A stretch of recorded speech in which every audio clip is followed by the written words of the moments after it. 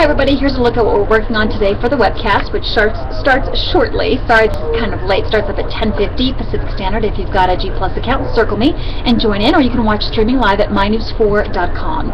All right, first and foremost, we are talking to Jamie Nieto. He is a high jumper, Olympian, U.S. in London. Gonna be live with us on Google Plus.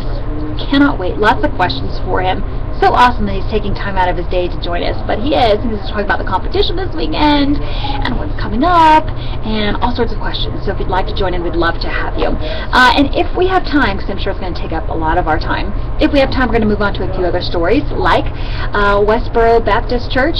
You know that, yeah, the ones who uh, a lot of times go out in front of military uh, funerals, holding up signs saying that basically God killed your soldier, your uh, marine, or whoever you might be, because God hates gays.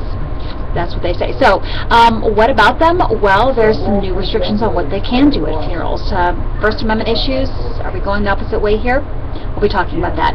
Also, if we have time, did you know that James Holmes now has a group of social media followers, sympathizers, if you will, that call themselves homies? As in James Holmes. Yeah, so we'll be talking about that. And last but definitely not least, it is, and we will be getting to this for sure, it is Food Friday, which means Jackie Goodman from Edible Reno Tahoe Magazine is going to be joining us to look at some of the great tasty options to go to this weekend, restaurants, events, etc. If you've got questions for her, please go ahead and let me know. Okay, it all starts up at 10.50 Pacific Standard if you'd like to join the Google Plus Hangout, or you can watch streaming live on MyNews4, that's number 4.com, or the YouTube channel MCKRNV. Hope to see you there.